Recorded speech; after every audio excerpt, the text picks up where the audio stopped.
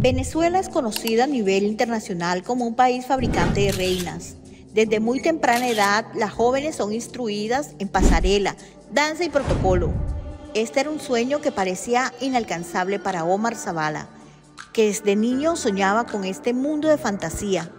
Pero aunque parecía inalcanzable, Omar fue descubriendo este mundo en medio de la pobreza, el rechazo y la violencia intrafamiliar de la cual fue víctima.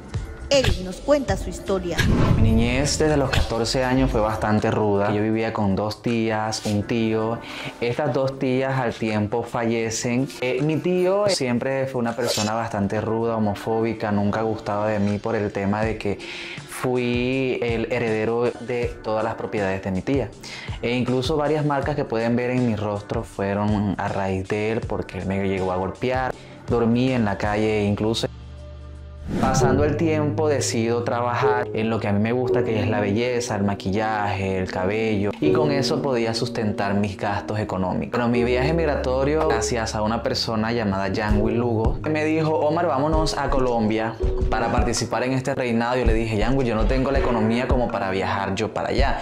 Y me dice, yo no te estoy pidiendo que tengas la economía, te estoy diciendo simplemente vamos y ya. Omar jamás olvidará su viaje a Colombia ni lo que llevaba en su maleta. Tres o cuatro vestidos, brochas, maquillaje, un cepillo y una plancha. Fue todo lo que pudo cargar para un viaje que solo duraría tres días.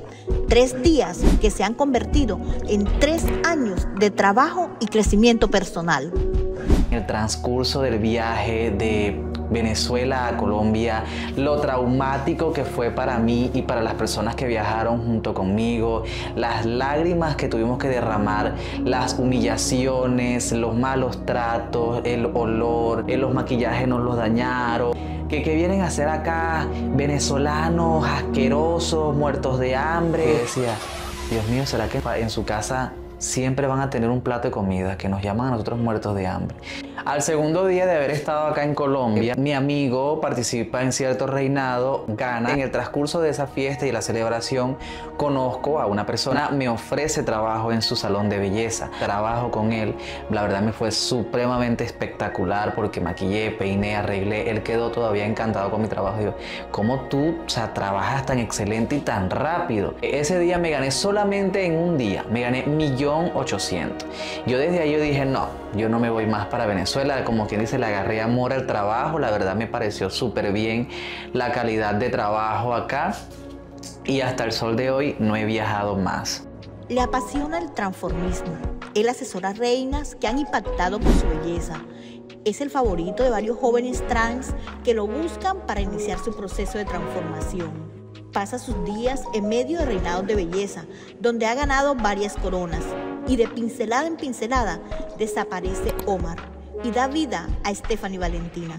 Pero, ¿quién es Stephanie Valentina? Soy yo. Stephanie Valentina es la chica, la Miss, a la que yo saco a los reinados de belleza de mostrar mis atributos como reina. La primera corona que se ganó fue el reinado popular trans del carnaval acá en Riohacha. Luego eh, me hice reina central.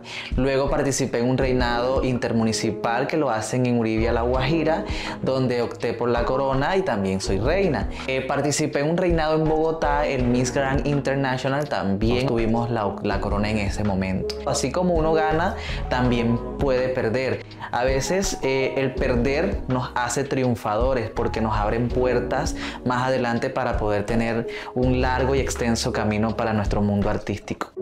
Stephanie Valentina no es su único personaje. Se ha iniciado en el mundo drag. Con Drag Diva Fénix entró en el espectáculo a nivel nacional, en un país que no es el suyo, pero en el que gracias a la migración pudo darse a conocer. Drag Diva Fénix es la persona extrovertida, dramática, showcera, que le gustan las pelucas súper grandes, que le gustan los tacones extravagantes, le gusta la cuerina, le gusta la pluma, le gusta todo lo fuerte, un maquillaje bastante recargado. No tiene miedo ni de tirarse del techo y caer en espagar o en split en el piso, hacer la caída de la muerte o volverse loca en el momento de estar en un escenario. Si yo no fuese cruzado esa frontera ese tiempo, esa manera tan traumada que, que la crucé. Créeme que hoy en día Stephanie o Drag Diva Fénix o Mar Zavala, quien soy, no tuviese tantos éxitos como los he logrado poco a poco. Cruzar fronteras para mí abrió demasiadas oportunidades en mi vida. Omar espera seguir cosechando éxitos. Se prepara para nuevos reinados, reinados donde espera traerse nuevas coronas y seguir abriendo la ventana de oportunidad que encontró cuando migró a Colombia.